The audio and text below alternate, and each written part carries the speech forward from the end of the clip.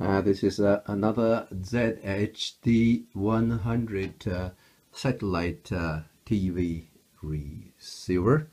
And uh, I removed the power board. This time still no power uh, nothing. And even any indicator any LED there there's no power at all. So I removed the power board and it is here. So this time there are severe damage and many parts are broken. And uh, here I just want to see uh, what I have uh, replaced.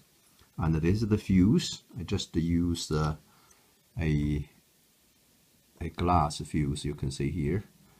Soldered uh, some wires and to make it stand there and here we have the bridge diode. O4 diode has been replaced.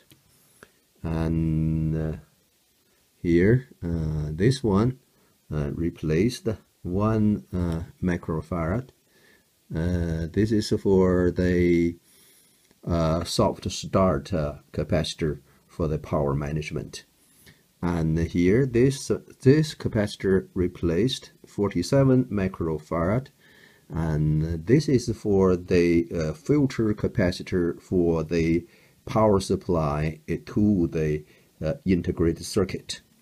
And the integrated circuit uh, replaced this is a power management is uh, 2A265 so that's uh, replaced uh, as well.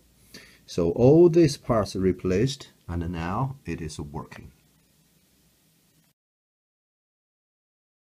Now I have uh, installed the power board and plug into the main board and plug this to the switch, power switch and now it's working. So you can see this is the time displayed and you can press the power switch and then this is could be the channel number. So it's working now.